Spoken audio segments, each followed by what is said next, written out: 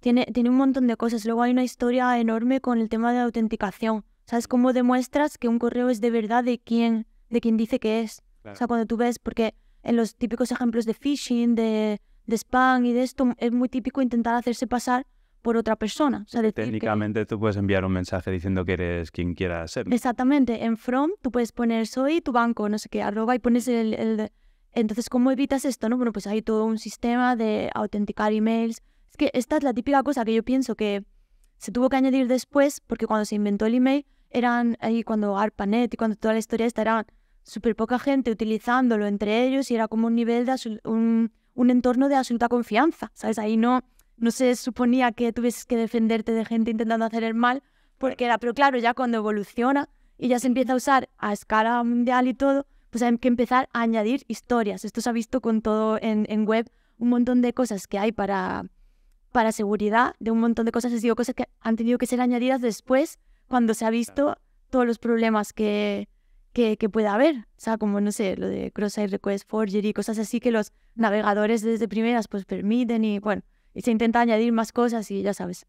Pero sí, es todo un lío que lo de la autenticación en el correo, eh, hay varios estándares, hay también unos headers y unas formas de decir eh, que este dominio eh, solo se permite en email, email que lleguen desde ciertas IPs, por ejemplo. Tú puedes, te puedes eh, definir un, un récord DNS para tu, para tu dominio, eh, se llama SPF, SPF record, donde puedes decir, eh, desde este dominio eh, solo permitimos desde estas IPs. Entonces puedes hacer que, si email llega desde otra IP, pues fallaría el check de SPF y sería como una especie de mm, heurística más para evitar que, o sea, para de- decidir si el email es falso, si está spoof. Pero claro, eso no es suficiente y además se rompe con forwarding. Por ejemplo, si haces forwarding automático, pues claro, el email va a llegar desde otro sitio. Entonces hay otra cosa que se llama DKIM, que es una mm, es para firmar. Con eso lo que te garantizas es que eh, ciertos campos del email, del headers y el body, normalmente, eh, la idea es asegurar que alguien en medio no los ha cambiado. Ujú. O sea, que tú has enviado el email desde tu sitio, no, o aseguras que alguien en medio no va a decir que viene desde otra persona y tal. Entonces le incluyes al email una firma con esos campos y para poder, tienes que también tener tu, tu DKIM eh, key, una key que tienes como pública, también publicada en tus en un DNS record, entonces el servidor que, que recibe tu email pues puede calcular también la firma y ver si coincide con la que viene en el header y ya decidir si, si esto es, o sea, si, es, si pasa o no. Sí, de hecho, me suena que había lío con eso ahora, corrígeme porque a lo mejor me equivoco, pero no sé si Gmail iba a limitar o a Sí, quitar justo. totalmente que si no están, los dominios no están... Autenticado, sí, no justo, lleguen. justo. Claro, porque uno puede decidir si hace esto o no, es voluntario. Yo puedo tener mi dominio ahí, eh, crear un, un- o sea, setear de alguna forma, poder enviar email desde ese dominio, pero no hacer nada de esto. Eso significa que cualquiera puede hacerse pasar por mí. Entonces, lo, de, lo de Gmail, que creo que Yahoo también lo va a hacer ahora, es que van a forzar a que todos los, eh, los senders, los que envían, tengan configurada autenticación para sus dominios precisamente para evitar que, se les pueda hacer spoofing de esto. que se cuele alguno por ahí.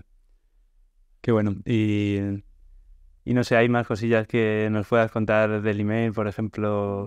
Ah, te iba a preguntar antes, porque es verdad que últimamente es- es- vemos mucho eso de que en la parte de arriba te deja, cuando llegan los newsletters, te deja el propio, servi- el propio servicio de email, te dice, oye, si quieres suscribirte, simplemente haz clic aquí. Eso funciona por buena voluntad de las newsletters que, que- es decir, si tiene que venir configurado en la propia newsletter para que funcione en el, en el servicio de email, ¿no? ¿no? Sí, sí, sí, sí, sí, justo. Hay unos headers que tienes tú que, que setear. Eh, hay uno que es list and subscribe. Eh, no me acuerdo muy bien cómo era el formato y cómo funciona, porque lo miré, la última vez que lo miré fue hace como tres años, entonces no me acuerdo. Pero básicamente es lo que tú dices, es según la, la buena voluntad. No sé si, eh, bueno, hay muchas newsletters que incluyen también un link para de suscribirse en el footer típico, Sí. que no sé si Gmail, por ejemplo, tiene alguna cosa interna que intenta detectarlo y, y, y ponerlo ahí, no lo sé. Es Podría ser, posible, ¿no? Pero es posible, es posible. realmente pensaba que funcionaba así, pero como antes No, hay- comentado está- algo... Es que me da que Gmail intenta hacer algo así, creo, creo. Pero aparte está lo otro, el, el header estándar, eh, también